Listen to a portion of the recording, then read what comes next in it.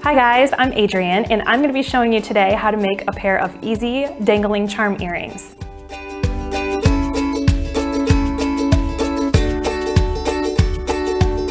Now to make this project today, we're going to use some 2mm chain and I have pre-cut this just for convenience sake. I've got half inch, 3 quarters inch, and 1 inch sizes. I've got two of each, one for each earring. We need two earring wires. We need two 6mm jump rings.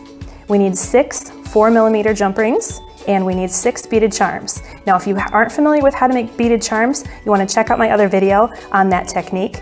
And we're also gonna be using a pair of chain nose pliers. Now to assemble these earrings, what we're gonna first do is attach the beaded charms to the chain links. So you wanna take your jewelry pliers here, your chain nose pliers, and grip that, that jump ring. These are twisted open.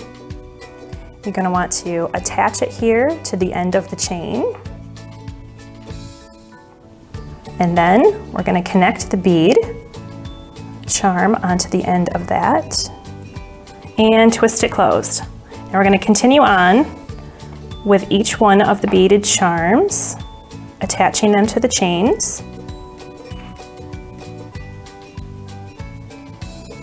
Twisting them all closed. We always twist jump rings closed. If you try to pull them apart and push them back together, they don't like to close properly. Now you just want to keep attaching all of the bead charms to the chains until they're finished.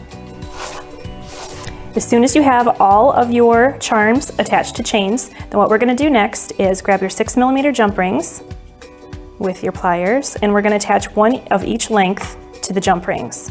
So I've got my 1 inch chain, my 3 quarters, and my half inch. And then we're going to take an earring wire Put that right on there and then twist that jump ring closed to finish the earring.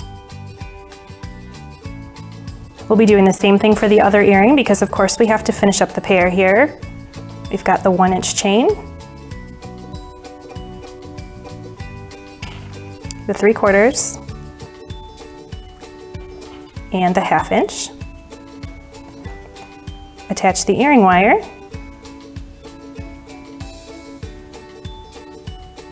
and you're all done.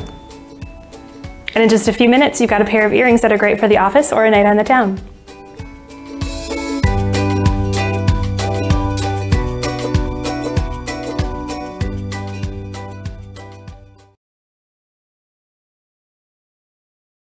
Hey, I'm Adrianne, and let's do some fast crafts. Be sure to subscribe and check me out at happyhourprojects.com.